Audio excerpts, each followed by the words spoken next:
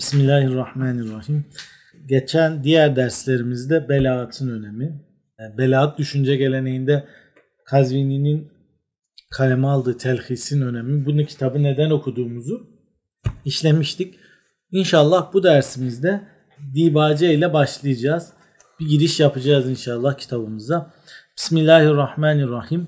Rahman ve Rahim olan Allah'ın adıyla Elhamdülillahi ala ma en'ame ve alleme minel beyani ma lem na'lem.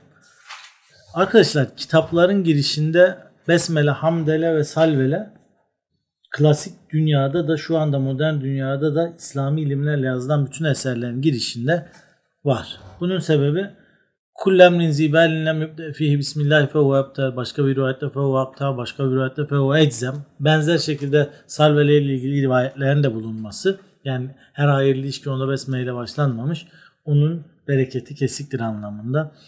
Dolayısıyla ulema besmele ile başlıyor ama mesela e, bazı kitaplarda besmele, hamdele ve salveleyi görmüyoruz. Mesela İbn Hacib'in kafiyesi. Musannif başlarken kendisi öyle başlamış fakat yazıya geçirmemiş. Ama yazıya geçirse de geçirmese de bir şekilde besmele ve hamdele ile başlamak İslam düşünce geleneğinde yazılan eserlerde karşımıza çıkan bir vaka, bir olgu.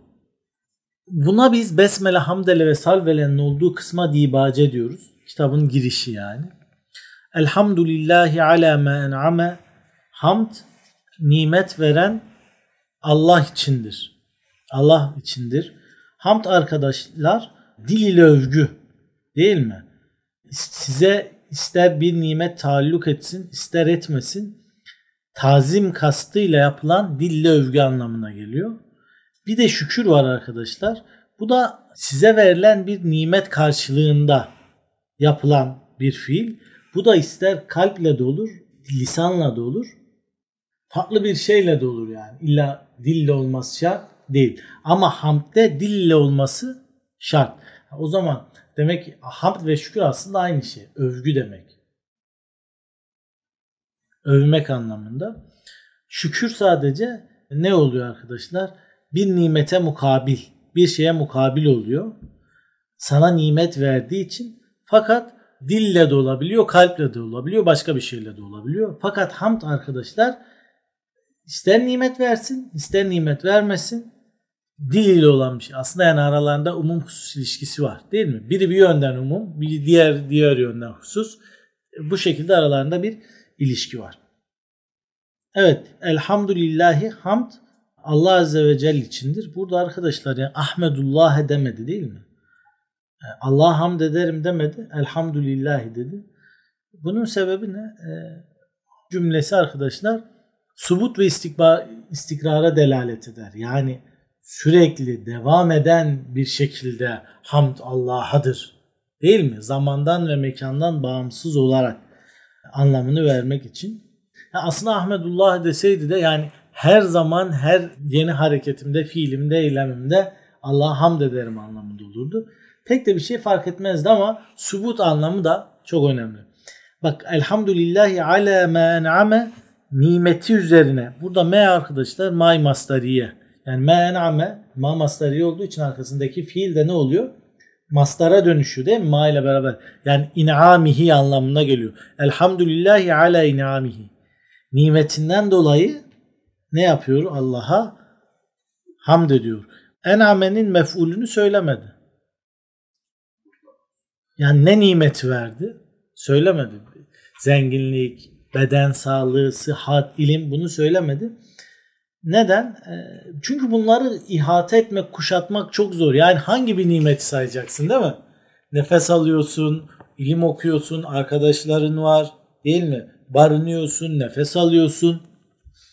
Bunu geniş olması için bir şeye has değil sadece Allah'ın bana verdiği nimet tüm şeylerle alakalı olduğu için söylüyor.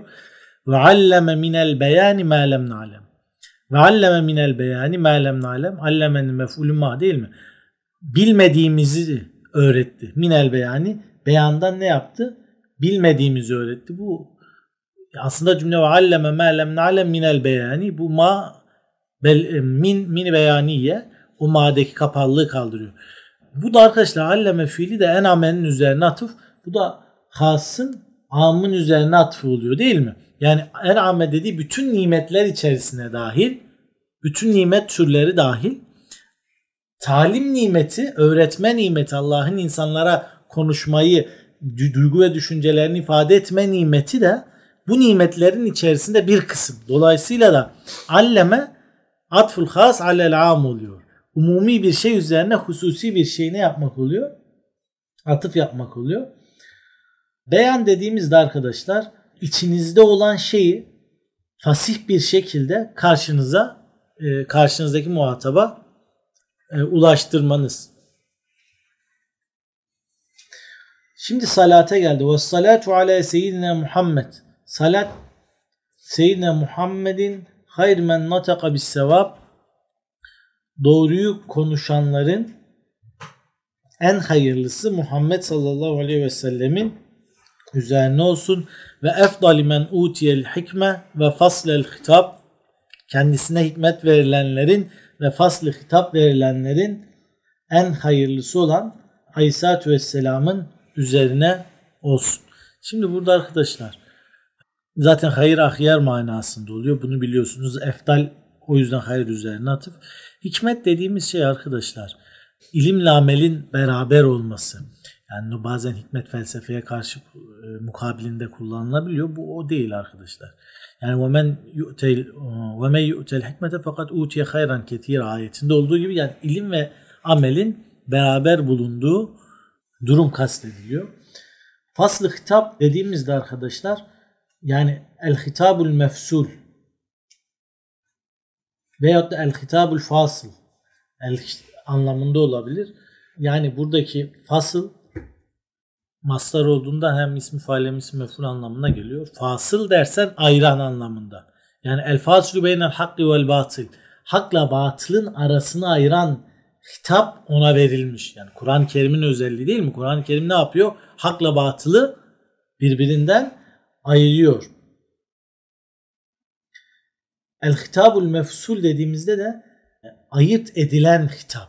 Yani kendisini böyle muhatap onu okuduğunda böyle başka bir şeylere gitmiyor değil mi? Kendi ayırt edilebiliyor. Ve ala alihi ve onun alinin üzerine olsun. Al arkadaşlar ehli anlamında. Fakat al kelimesinin ile ehil kelimesi arasındaki fark normal sıradan insanların ehli olur.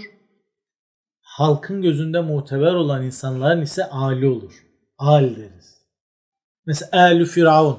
Firavun'un ehli demek aslında ama onun, onun için özel kullanım olarak al kullanılıyor. Yani sadece Firavun için değil. Toplumda belli bir statüye sahip olanlar için kullanılıyor. Ve e, alihil et ve ala alihil ethar ve sahabetihil ahyar. Onun tahir olan, temiz olan ali ve seçilmiş olan sahabisinin üzerine olsun. Bu ethar tahir kelimesinin çoğulu. Tahirun etharun aynı sahibun ashabun gibi. Sahip kelimesinin sahbun, sihabun, ashabun şeklinde cemileri var. Sah sahabiyunun cemisi ise sahabetun. Yani sahbun, sihabun, ashabun, ashabun bunlar hepsi üçü de cemi. Sahabetun da cemi ama biri sahabiyunun cemisi, diğerleri sahabunun cemisi, sahibunun cemisi. Ahyar da yine hayyirunun cemisi arkadaşlar. Şimdi emme ba'd bundan sonra bu arkadaşlar ba'd kelimesi izafetten kesilmiş mebni izaflardan sayılıyor. Yani aslında burada muzafun ileyh var değil mi? Yani ba'de, ba'de dibaceti demek. Dibaceden sonra yani besmele, hamdele ve salveleden sonra kitaba giriş yaptıktan sonra yani ba'del hamdi ve salati yani ba'del besmele ve hamdi ve salati artık nasıl takdir ediyorsanız hepsi caiz. Bundan sonra emma'nın cevabına ne gelecek? Fe gelecek. Felemme değil mi? Felemme de lemme de zaten arkadaşlar iza manasında ama fiil mazinin başına gelirse. Lemme kâne dığında olduğunda. Şimdi okuyacağız.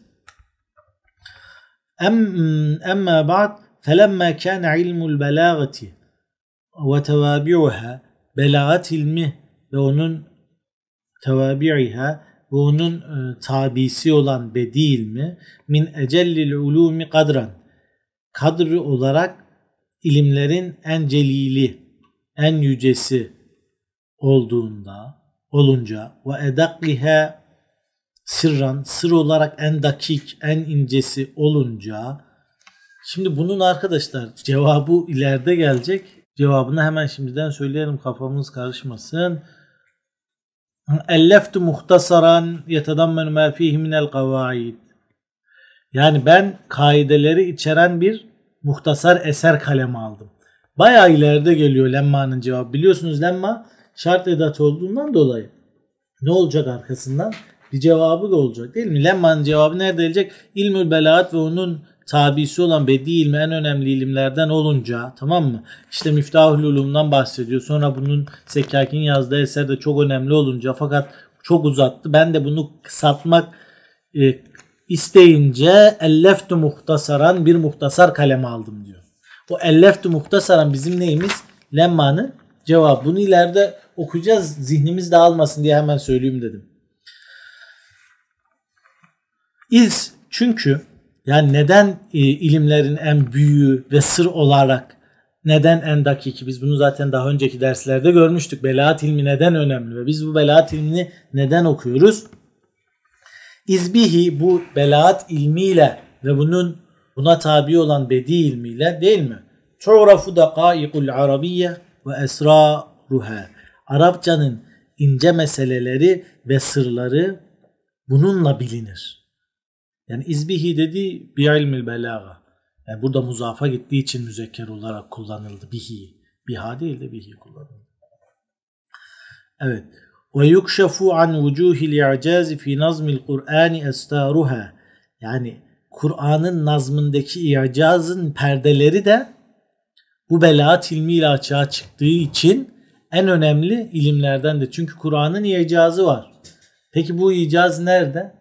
Nasıl? Bunu bilmiyoruz. İşte diyor Kur'an'ın icazı belagat ilmiyle bilinebilir. Bu yüzden en şerefli ilim belaat ilmi. Buradan da neyi anlıyoruz arkadaşlar? Demek ki Kazvini'ye göre Kur'an-ı Kerim'in icazı nazmında ve bu nazım ancak ne ile biliniyor? Bu nazımdaki örtüler, kapalılıklar ancak belaat ilmiyle bilinebiliyor. Hani Kur'an-ı Kerim'in icazının işte lafzında mı, manasında mı yoksa işte bilimsel açıklamalarda mı, daha öncekilerin haberlerinin verilmesinde gelecekle ilgili bilinmeyen şeylerin söylenmesinde bir sürü Suyut'un itkanını açarsanız işte Zerkeşi'nin eserlerini açarsanız bununla ilgili bir sürü ihtilaf zikrediyorlar. Ama bizim okuduğumuz metinde Kur'an-ı Kerim'in icazının örtülerinin belaatla açıldığını söylüyor. Buradan neyi anlıyoruz? Demek ki yazarımıza göre Kur'an-ı Kerim'in icazı nazmında. Ve bu yüzden zaten Arapçanın belaat kolu sarf ve nahivden daha önemli. Bak sarf nahiv var. Evet. Bunlar ile belaatı ayıran temel nokta ne diyor? Belagatla siz Kur'an icazını öğrenebilirsiniz. Sarf ve nahiv ile değil. Veya lügat bilgisiyle değil. Yani çünkü sarf nahiv bir pastayı yapacak süttür, değil mi? Hamurdur, işte yumurtadır. Bunlar sarf nahiv ve lügat kuralları. Bunu herkes karıştırabilir. Bunu herkes elde edebilir. Ama belaat dediğimizde onun bir pastaya dönüşümü var. Değil mi? Bir fuan boğazlı pastaya dönüşümü var. E onun üzerinin süslenmesi var. İşte e, dediğimiz şey herkesin yapamayacağı o şey bunu pastaya dönüştürmektir. Yoksa herkes marketten gider sütü alır yani. Hamuru herkes var. Değil mi? Yumurta herkes de var. Önemli olan onu pastaya çevir. Ha yani burada ne kastetti arkadaşlar? Belagat ilmiyle Kur'an'ın muciz olduğu çünkü belagatın en üst rütbelerinin bununla bilindiği anlaşılabilir diyor.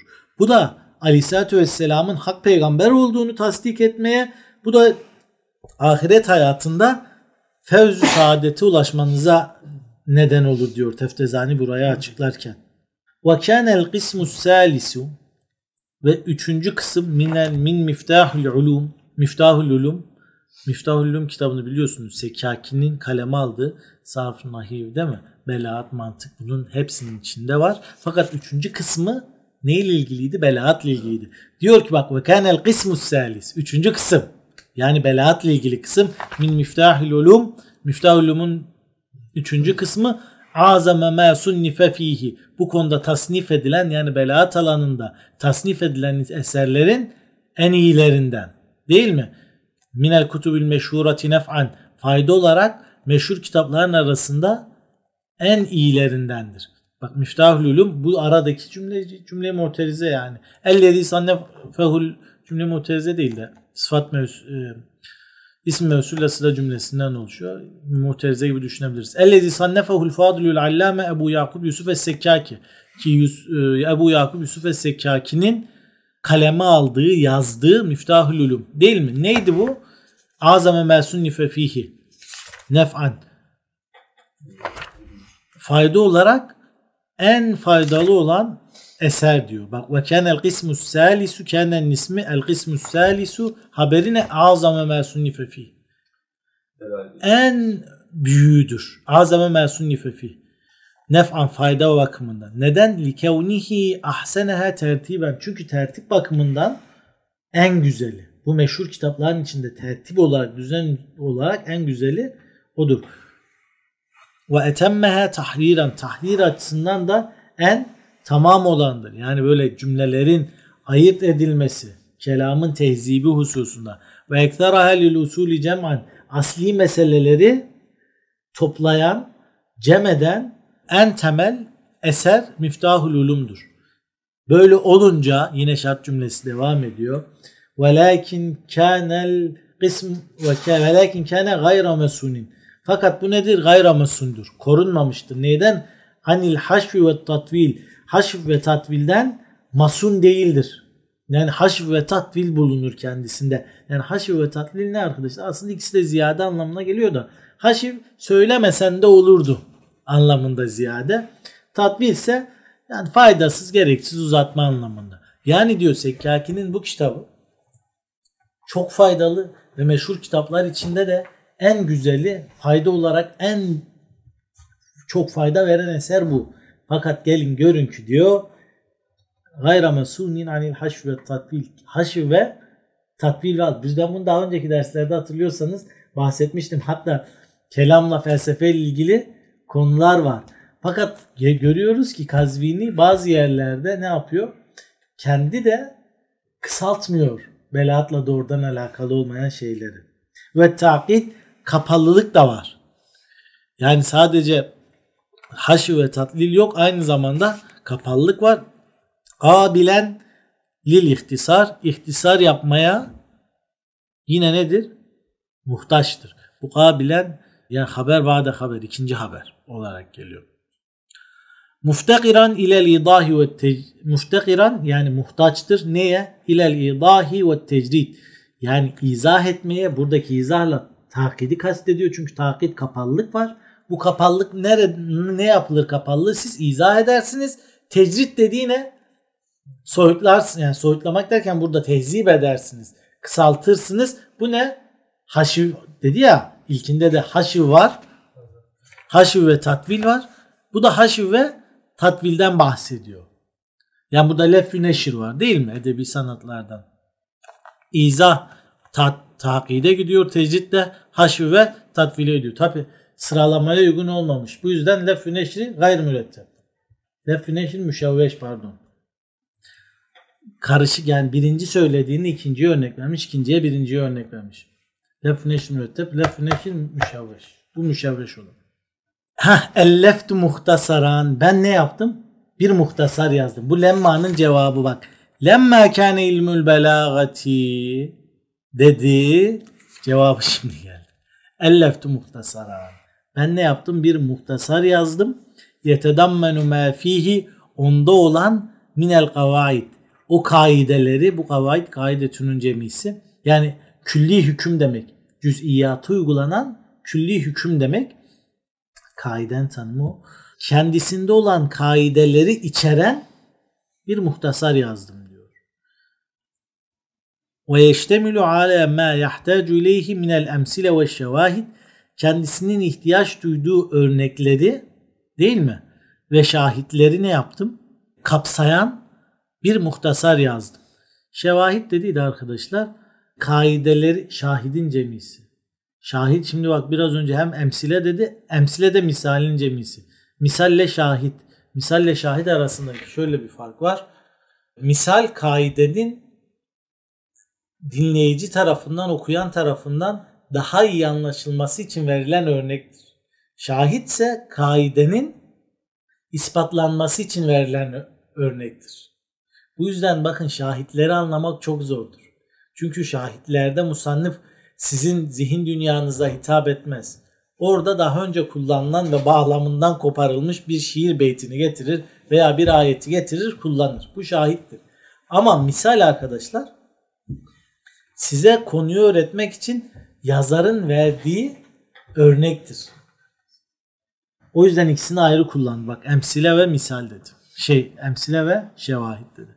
Ve lem alu cuhden ben cühdü gayreti elimden bırakmadım fi tahkikihi ve tehzibihi bu kitabın tahkik ve tezhib, tehdibi hususunda cühdümü gayretimi ne yapmadım? Bırakmadım.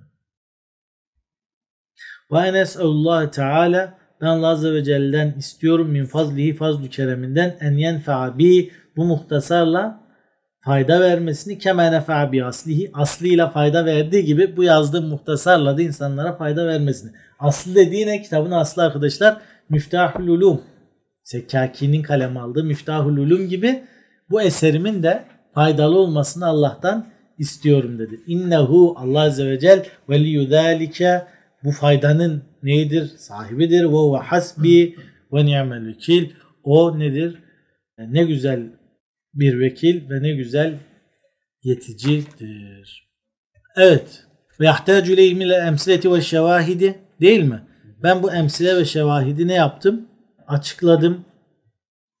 Ve lemâlu cuhden fi tahkikihi bu muhtasarın tahkikinde de tehzibinde de cüht çabası sarf, sarf ettim.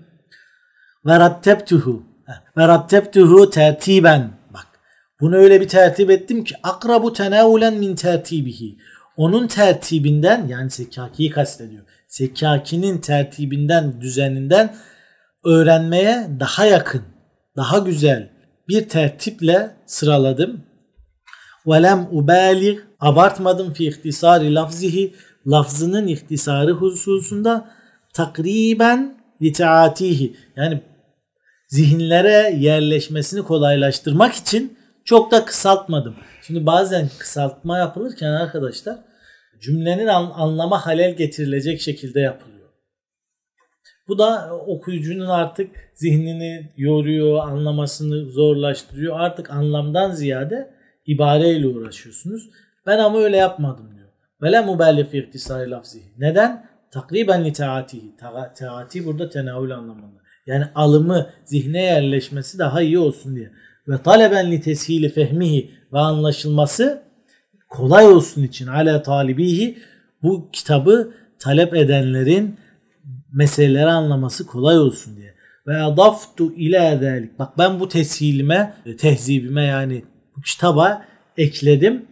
Fevaide athartu. İttila ettiğim, ulaştığım, bulduğum faydaları ekledim. Fi ba'di kutubil kavmi aleyha bu bazılarının kaleme aldığı eserlerdeki ne yaptım? Faideleri ekledim. Aleyha dediği bu kitaba ekledim. Efendim? Cumhur anlamında. Ya şey belaatçılar anlamında belaatçılardan bazılarının kitaplarındaki şeyleri ekledim e, bilgileri. Ve zevaide ve zait şeyleri ekledim. Lem azfer bir tasrihi biha bu zahit şeyleri açıklayan hiç kimseyi görmedim. Bunları da ekledim. Yani bu basit bir telhis değil. Ben önemli noktaları diğer belaat kitaplarından bulup seçip koydum ve diğer belaat kitaplarında olmayan önemli şeyler de ekledim. Velel işara ile ileyha hatta diğer kitaplarda bırak tasrihi işaret bile olmayan önemli şeyleri ekledim diyor. Ve semmeytuha telhisel müftah. Ve ben bu kitabı Telhisül Müftah diye isimlendirdim. Şimdi normalde biz telhis deyince özet anlıyoruz değil mi? Aslında ben de öyle bir şey yapmadım. Evet özetledim fakat diğer kitaplarda olmayan hatta işaret edilmeyen bilgiler koydum. bu kitabın aslında olmayan faydeleri diğer kitaplardan bulup onları da ekledim diyor. Ve ene es'elullah teala e, ben Allah Azze ve Celle'den istiyorum min fadli fazl kereminden en yenfa bihi bu kitapla fayda vermesini keme nefa bi aslihi aslıyla fayda verdiği gibi ennehu veliyyü zalik Allah buna veli bunun velisi ve huve hasbi o bana yeter ve ni'mel vekil ve o ne güzel bir vekildir. Şimdi arkadaşlar kitabın mukaddimesine geldik.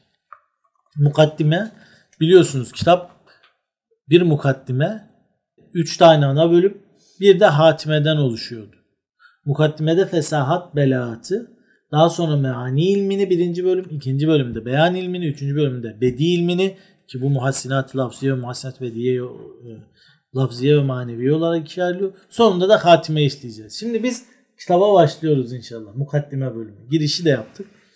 Evet. Şimdi el fesahatu fesahat arkadaşlar. Bu fesahat fasih olmak efsahas subhu gibi. Yani bir şeyin açık olması anlamında kullanılıyor. Yusafu bihel mufret vel kelam vel mütekellim. Bu hem müfredin hem kelamın hem de mütekellimin sıfatı olarak kullanılır. Yani bu ne demek? Kelimetun fasihatun denir. Kelamun fasihun denir. Mutekellimun fasihun denir.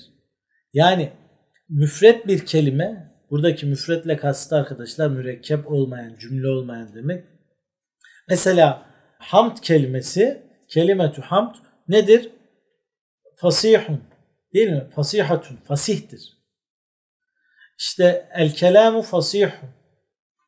Kelam fasihtir. Vel mütekellimu fasihun. Konuşan kişi fasihtir. Yani fesahat hem kelimenin bir özelliğidir, hem kelamın bir özelliğidir, hem de mütekellimin, konuşan kişinin bir özelliğidir. El, ileride göreceğiz. Belaat arkadaşlar böyle değil. Belaat neyi olmaz? Müfredin e, sıfatı olmaz. Yani kelimetün beligatın olmaz. Çünkü kelime beli olmaz. Bunu ileride göreceğiz. Vel belaga yusafu bihel ahiran fakat. ileride değilmiş şimdi görüyoruz. Yusafu biha el ahiran fakat sadece son ikisi vasıflanır. Ne o da arkadaşlar? Kelam ve mütekellimin sıfatı olarak gelir. Şimdi vel fesahatu fil müfret. Müfret kelimelerin yani kelimenin sözcüğün buradaki müfretle kastedilen sözcük. Bir sözcüğün bir kelimenin fasih olması ne nasıl olur? Hulusuhu şunlar olmayacak. Min tenafürül huruf. Tenafür huruf olmayacak. Vel garabe. Garabet olmayacak ve muhalefetül kıyas ve muhalefetül kıyas olmayacak. Yani bir sözcük nasıl fasih olur? Nasıl açık ve veya açık meramınızı ifade edebilecek bir kelime olur? Tenafür huruf olmayacak. Garabet olmayacak. Muhalefetül kıyas olmayacak. Şimdi biz fesahattan sonra belagatı göreceğiz. Belagatın bir şey, sözün veya kişinin belli olması için kullanılan o sözün fasih olması lazım. Sözcüklerin fasih olması lazım. Yani biz fesahat aşamasını geçemezsek belagata gelemeyeceğiz. O yüzden bir sözün belagatının anlaşılması için şartımız ne? Fasih olmaz. Yani kaliteli olmaz. Biraz önce hani pasta örneğini verdik ya. ya pastanın güzel olması için içine koyduğunuz sütün güzel olması lazım. Hamurun güzel olması lazım yumurtanın iyi olması lazım. Yani herhangi bir yumurtayla da herhangi bir sütle de pasta yapılabilir mi? Yapılabilir. Ama yani duygu ve düşüncelerinizi herhangi bir sözcüğü kullanarak ifade edebilir misiniz? Evet ifade edebilirsiniz. Ama tüm sözcükler fasih midir? Tüm sözcükler fasih değildir. Yani kullandığınız malzeme önemli. Pastaya hangi malzemeyi koyduğunuz önemli. Yani hepsine süt koyarsınız ama tüm sütler aynı değildir. Tüm yumurtalar aynı değildir. Öncelikle bizim sütümüzün, yumurtamızın değil mi? Hamurumuzun iyi olması lazım. Sözcüklerimizin iyi olması lazım. Arkasından bunun muktezai hali uygun bir pasta haline yani nereye gidecek? Mesela doğum günü pastasıysa ona göre şekil vereceksin değil mi? Veya mesela hediye bir pastaysa veya eşinize sevgilinize götürüyorsa renginin farklı olması lazım. Veya e, bir arkadaşınıza herhangi bir şey için hediye götürüyorsunuz. Farklı olması lazım. Yani önce fasih olacak. Bu fesahattan sonra belagat şartını yerine getirebileceğiz. Peki bir kelimenin fasih olmasının şartları ne? Hani o ma- pasta malzemesinin fasih olmasının, kaliteli olmasının şartları ne? Mesela nedir? Sütün son kullanma tarihi geçmeyecek, kokmayacak, ekşimeyecek. Değil mi? İşte sözcüklerin de belli şartları var. Bir sözcük nasıl fasih olur? Diyor ki bak üç şart var. Ne olacak? Hulusuhu min tenafürül huruf. Harfler ne olmayacak? Birbirini itmeyecek. Harfler birbirinden öyle nefret etmeyecek. Birbiriyle uyumlu olacak yani. Değil mi? Garabet, anlaşılmayan, garip böyle bir şey olmayacak. Anlaşılacak. Zaten fesahat, fasihlik, açıklık demek. Muhalefetul kıyas. Kurala uygun olacak. Sarf kurallarına, sarf biliyorsunuz sözcükleri işler. Şu anda biz sözcükteyiz ya. Bu yüzden sözcükle ilgili olan sarf, sarfın kurallarına uygun olacak. Yani kural dışı bir kelime, yanlış kullanılan bir kelime olmayacak. İşte bu şartları taşırsa bir kelime fasih olur arkadaşlar. Fettenafur cümlede tenafürün olması gadairuhu musteşziratun ilel ula tedillu liqasu fi musanna ve murseli. Gadairuhu onun saç örgüleri musteşziratun ilel ula yukarıya doğru yükseltilmiştir. Değil mi? Burada musteşzi bak musteşziratun bak şın ze musteşziratun yani yukarı tarafa yükseltilmiştir. Bunu söylemek zor. Musteşziratun. Bak şin zera sin bak sin şin ze bunlar hep birbirini iten kelimeler. Dolayısıyla da burada ne var? Tenafur var. Bu kelimeler birbirini itiyor. Gadair arkadaşlar. Gadera böyle bir şeyin geride bırakılması anlamında kök olarak, iştikak olarak mesela yağmur yağdı böyle bir birikinti oldu. Oraya gadir diyorlar. Böyle saçınızı böyle bağlıyorsunuz, geriye atıyorsunuz ya. O da gadir anlamında, saç bükümü anlamında kullanılıyor. Tedillül e, ikasu fi musenne ve murseli bağlı ve serbest bırakılmış saçlarının e, arasında arkadaşlar o saç e, üstteki saç e, örgüleri ne olur? Kaybolur. Yani kadının o kadar saçı var ki örgülü saçlar normal düz ve diğer rahat bırakılmış ve diğer örgülerin arasında kayboluyor diyor. Kadının o kadar saçı varmış yani. Vel garabe, garabete örnek senahvu ve fahimen ve mersinen muserrece. Bu yani e, fahimen dediği böyle siyah saç değil mi? Ve mersinen burun müserrece yani müserreç bir burun. Burada müserreç kelimesiyle ilgili arkadaşlar bizim zaten problemimiz var. Bu anlaşılmıyor. Garabet var. Nasıl garabet var? Şimdi açıklayacak bak. Fahimen ve Mersinen'de bir şey yok. Değil mi? Ne diyor? İşte kara saçlı, işte Mersinen burun. Ha müserrecede sorun var. Ne gibi? Yani ey yani keseyfi sureyci yani Süreç kabilesinin kılıcı gibi fiddikat vel istiva. Düzgünlük ve istivada öyle bir burnu var. Ev kesiraci fil berik vel lem'an. Yani parlaklıkta böyle bir kandil gibi. Bak ikisinden de olabilir mi? Evet ikisinden de olabilir. Yani o anlamda da olabilir, o anlamda da olabilir. Bak zihnin karışıyor. Ne demek istiyor diyorsun. Acaba güzellik ve burnun dikliğinde böyle yamuk olmaması konusunda mı süreyce benziyor müserrece ederken yoksa parlaklıkta bir kandil gibi olmayı mı kastediyor? Bir karışıklık oluyor. Bu da ne yapıyor arkadaşlar? Kelimenin fasih olmasına zarar veriyor. Çünkü fasih ne demekti? Açık. Açık olacak. Karşındaki kişinin ne dediğini anlayacak. Vel muhalefetu bak muhalefet yani muhalefetul kıyas sarf kurallarına aykırı olmak ne gibi?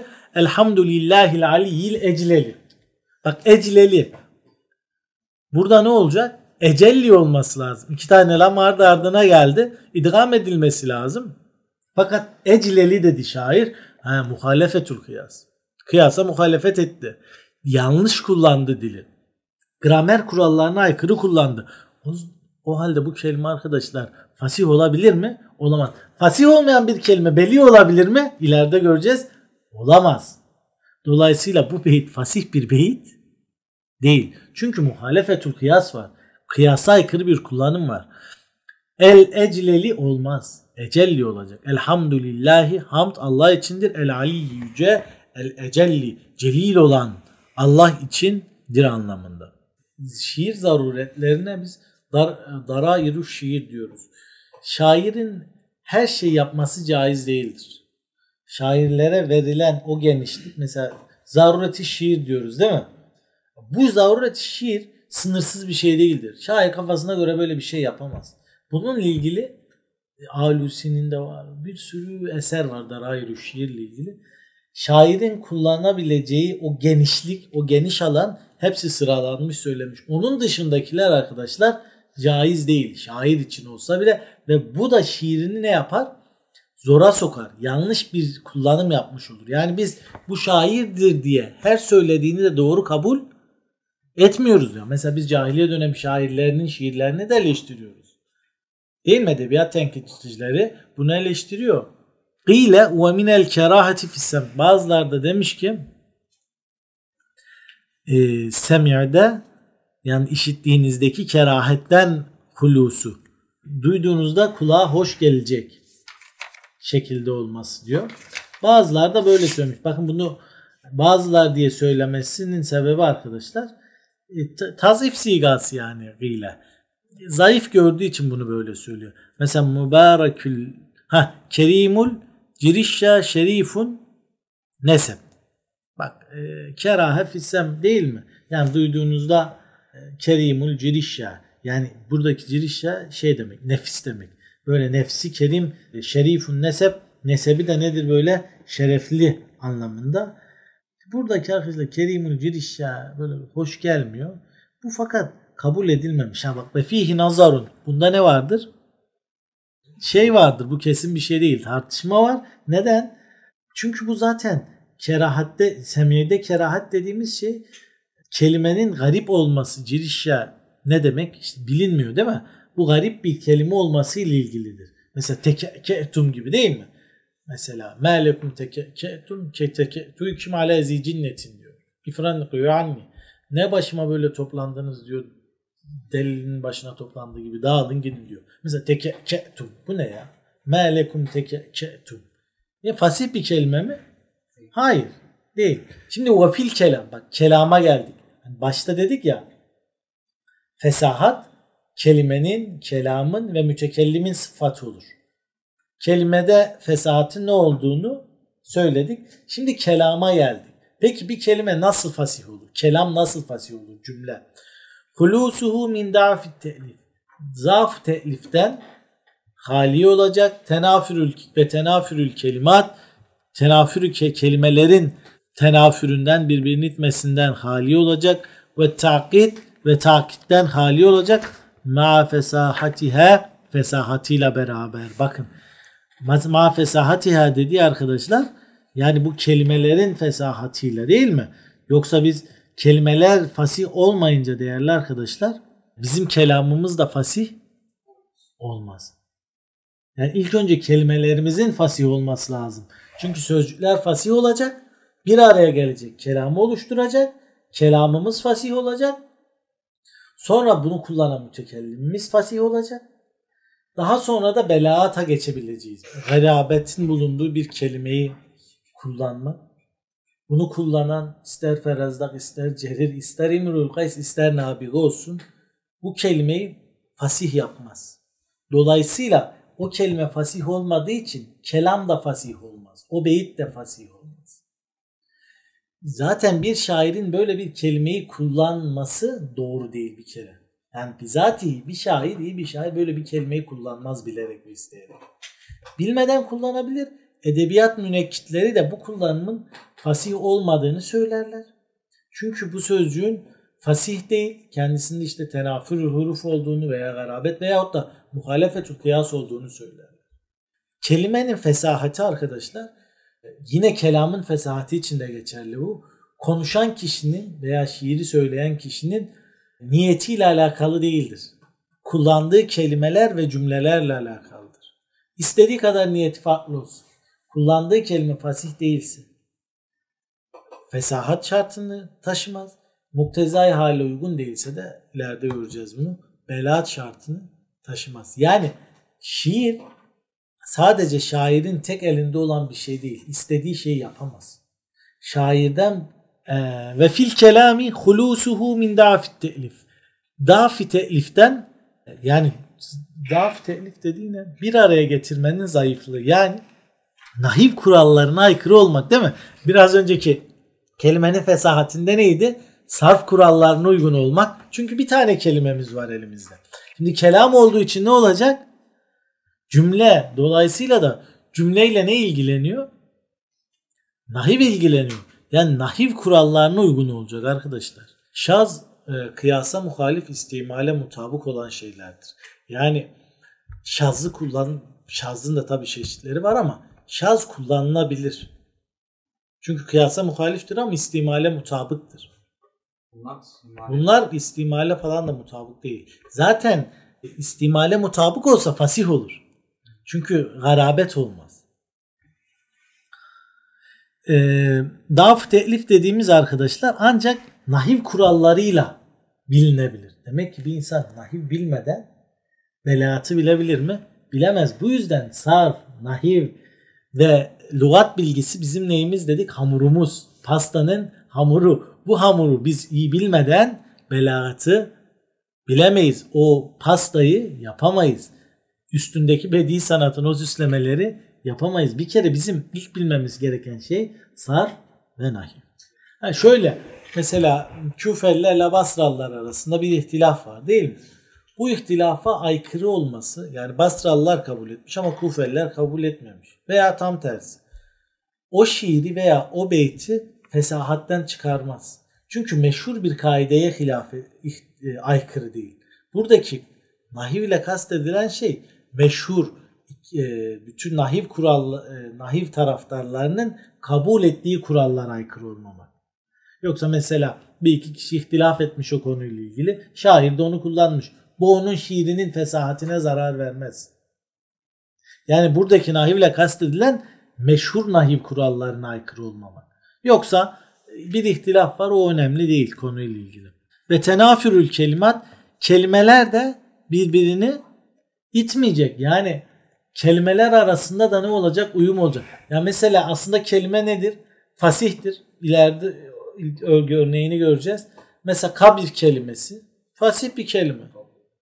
Ama biz kabir kelimesini grup kelimesi de yine bak grup yakın anlamında fasihtir. Kabir fasihtir değil mi?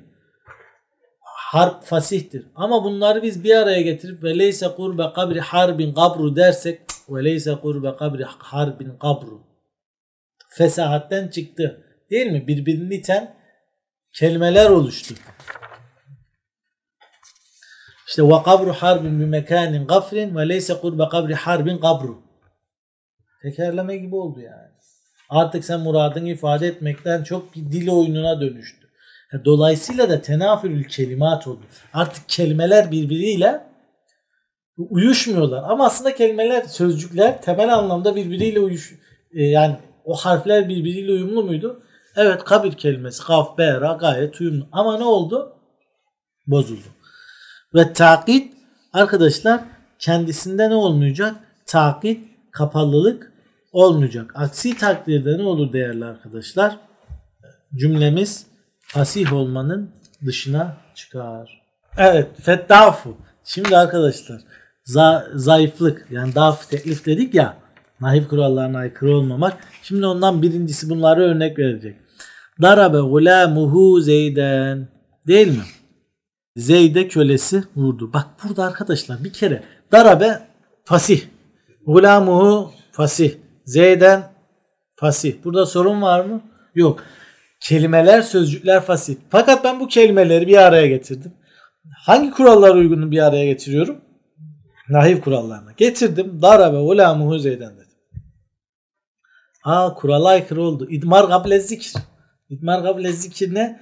Yani söylemiyorsun ama daha önce geçmeyen bir isme zamiri merci yapıyorsun. Yani zamirin merci kendinden önce değil sonra geliyor. Lafzen ve rütbeten tabi. Bununla ilgili ihtilaflar naif kitaplarında var. Bazen lafzen gelir Rütbeten gelmez bazen rütbeten gelir lafzen gelmez. O ihtilafları Nahip kitabından bakabilirsiniz. Bak buradaki gulamuhu zeyden kendisinden sonra gelen zeyden mi raci? Evet. İtmar kable zikir ve kurala aykırı. Dolayısıyla da bu ne var arkadaşlar burada? Zaafı teklif var. Nahip kurallarına aykırılık var. Bu kelime bu cümle fasih olabilir mi? Hayır olamaz. Fettenafur bak tenafür ke kavlihi ve kabru harbin bi mekanin gafr ve leyse kurbe kabri harbin kabru. Yani aslında bak kabir, harp, mekan, gafır, leyse, kurbe, kabr, harp bunların hepsi fasih kelimeler ve bir araya geldiler.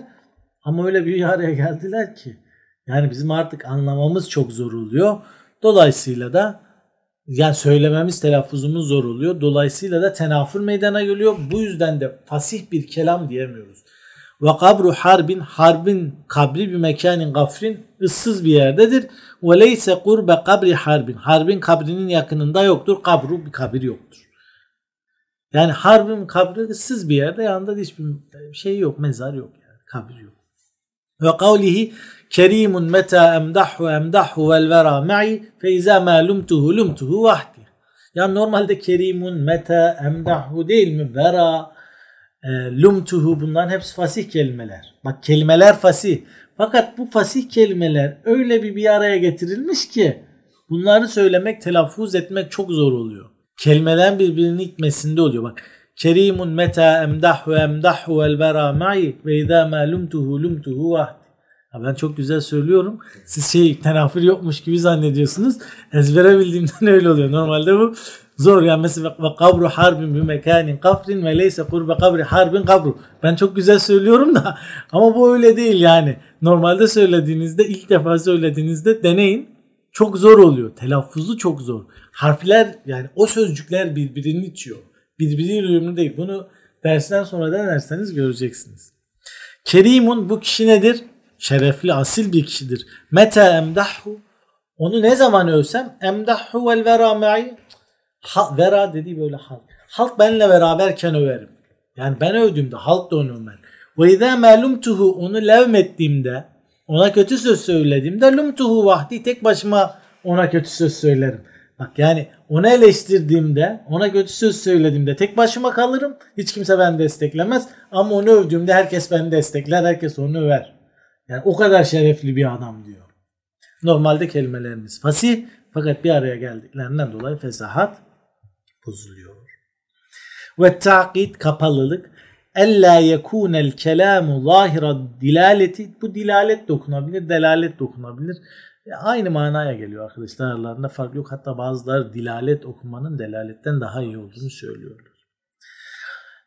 Ella yekunel kelamu zahira delaleti alel muradi murad edilen mütekellimin kastettiği anlama delaleti açık olmaz. Bak takip buymuş. Mütekellimin muradına delaleti açık değil. Li halelin bir halelden bir engelden dolayı. Bu imme nazmi ya kelimelerin bir araya getirilip düzenlenmesinde kaynaklanır. Kekavlil ferazdak fi hali Hişam Ferazdak'ın şu sözü gibi değil mi? Ve ma misluhu fin nas illa mumelleke ebu ummihi hayyun ebuhu yukaribuhu. Bak cümle çok karışık. Yani ve ma misluhu fin nas illa mumelleke ebu ummihi hayyun ebuhu yukaribuhu. Aslında cümle ne arkadaşlar?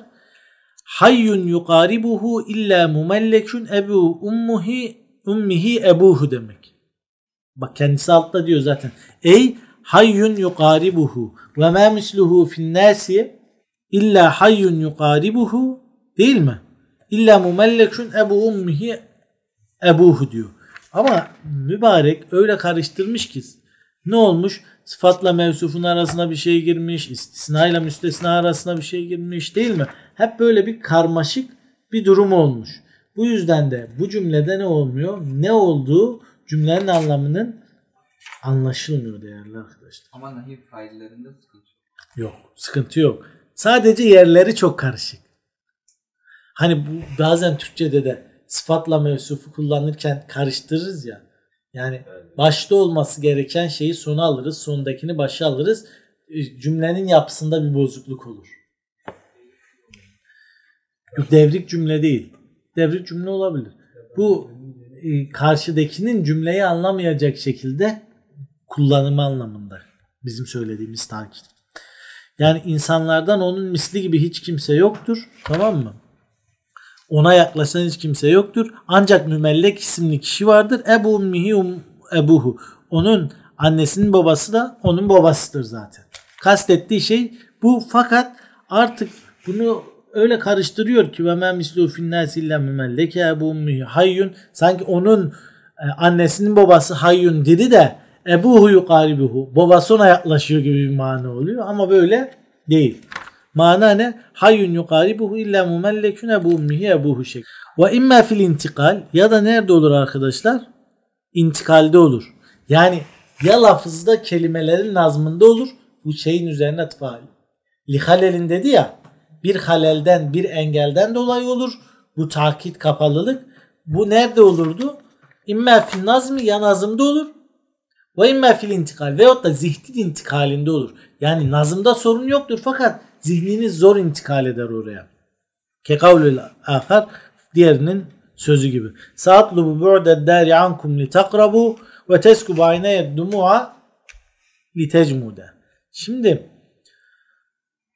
Saatlubu bu'de dari ankum ben evimin sizden uzak olmasını isteyeceğim. Saatlubu bu'de dari ankum. Neden li takrabu bana yakın olun diye evimin uzak olmasını isteyeceğim diyor. Ve teskubu aynaya dumu'a gözlerim ne yapıyor? Dumu gözyaşlar demek. Gözyaşlar döküyor litecmude donmak için. Donması için gözlerim ne yapıyor? Gözyaşı döküyor. Burada feinnel intikale min cumudil ayn ila buhliha biddumu çünkü buradaki intikal min cumudil ayni gözün donmasından ila buhliha biddumu gözyaşını dökmemeye şeklindedir. La ila ma kasadehu mines surur. Şairin kastettiği sevinç değil. Yani burada zihnin anladığı nedir arkadaşlar?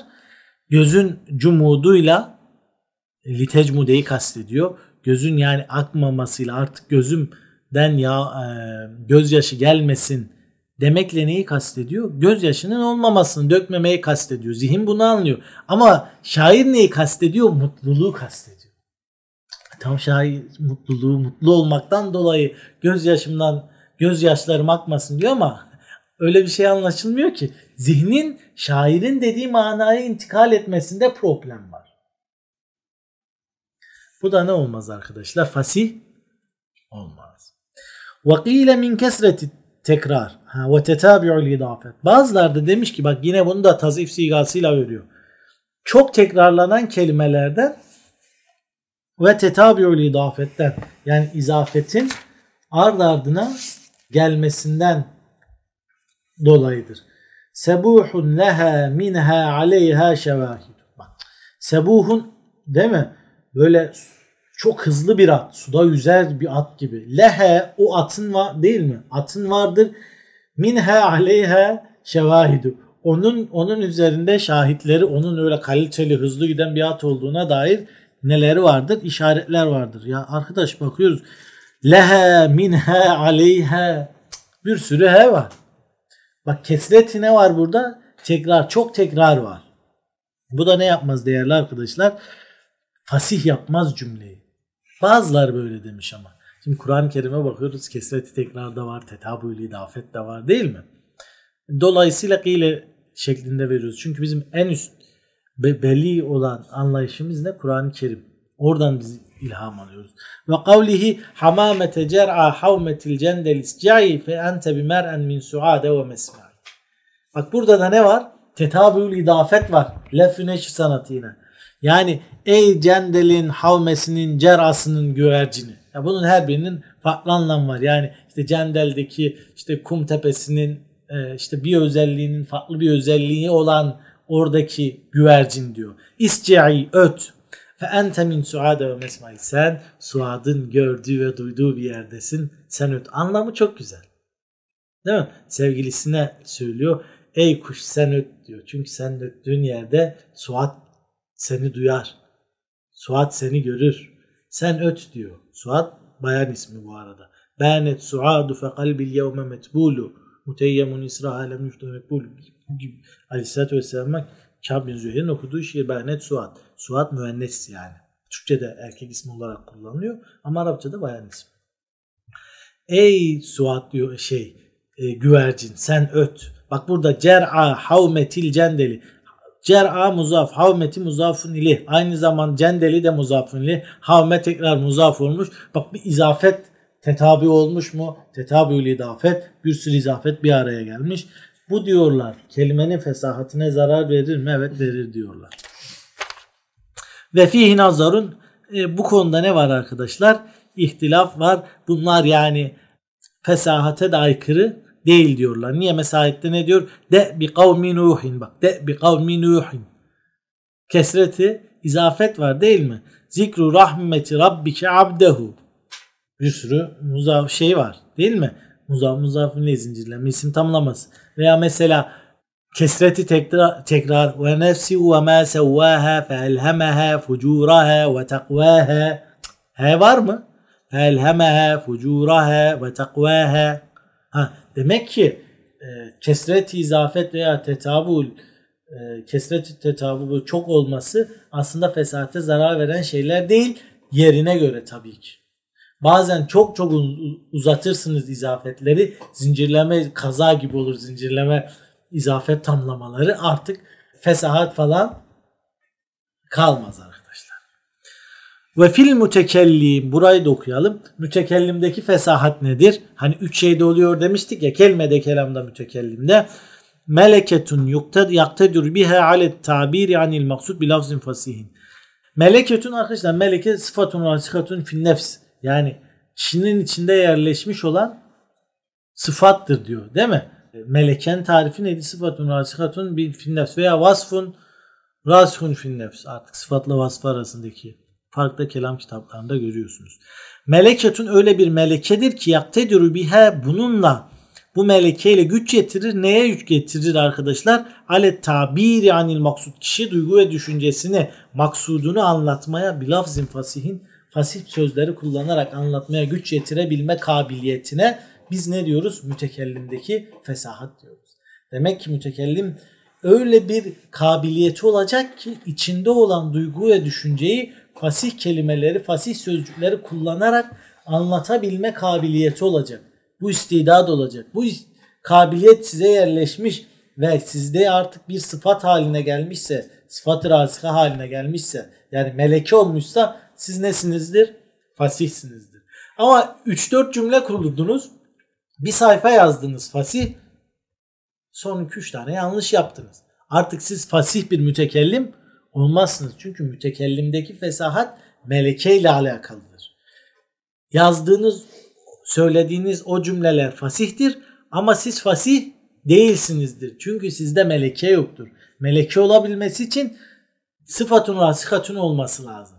Yani yerleşmiş bir sıfat olacak. Evet bugünkü dersimizde arkadaşlar kitabımıza giriş yaptık. Fesahatin kelimede, kelamda ve mütekellimdeki durumlarını inceledik. İnşallah diğer dersimizde belaatın ne olduğunu değil mi? Ve belaatın e, hangi disiplinler, e, hangi bölümlerden oluştuğunu ve bunları inşallah işleyeceğiz. Ve ahiru davana enilhamdülillahi rabbil alemin.